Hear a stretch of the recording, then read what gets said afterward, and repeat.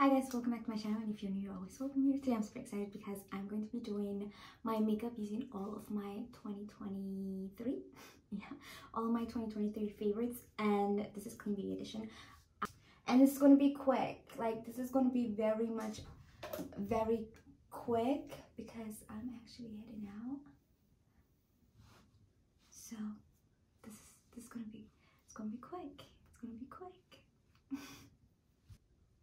Hi guys, I haven't done a voiceover in a very very long time and this is my I don't know number how many attempts. So I'm thinking like this one will be the last one. We're just going to have to stick with this one okay? I'm going to be using all my favorite products of the year to do this makeup look with you guys today. These are products I either have bought a multiple times this year or a product that I've used since the beginning of the year or obviously like honestly most of them I've bought them multiple times uh, or I've been using them this whole year.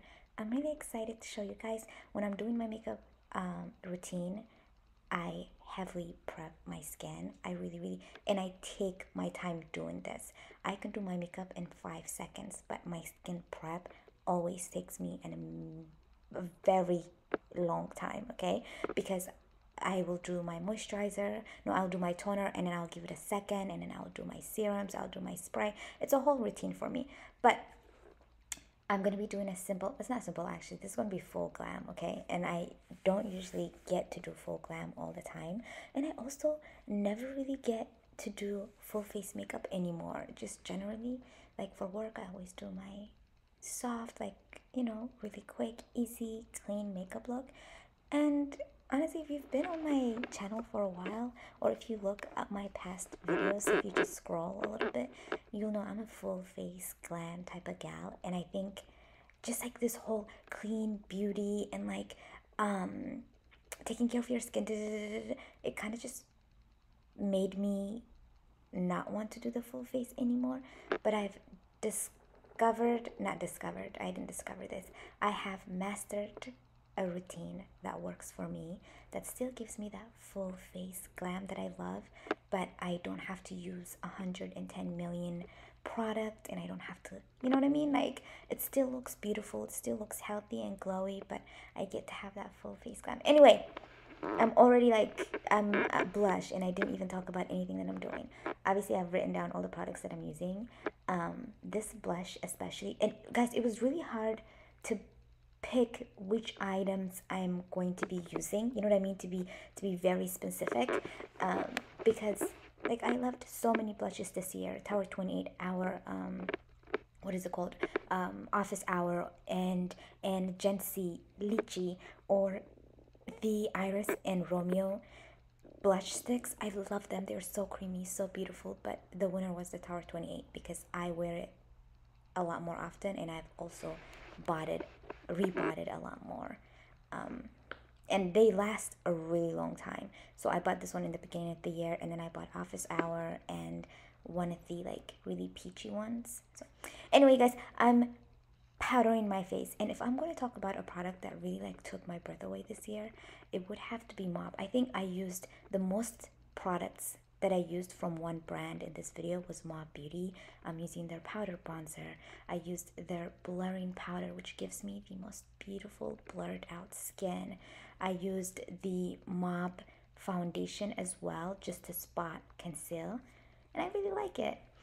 Um, Aramis is also a favorite. If I have to pick a brand that I heavily enjoyed or discovered this year and really obviously like I transitioned into clean beauty this year so a lot of these products or a lot of these brands are introduced to me this year but a brand that I really really enjoyed is probably Rituel de Fille and Tower 28 I use a lot of their stuff. I oh Westman. How can I forget Westman Westman complexion drops um, foundation stick their highlighter stick I love those things Jillian Dempsey why did I just discover who she's married to? And they've been together for 10 years? Oh, I love that. Anyway, this eyeliner, super magical. It doesn't, it doesn't um, bleed. It stays on my eyes. And I like it. My main thing with my makeup is before it used to be about just like full coverage, full coverage, full coverage. Now it's about enhancing the things that I love about myself.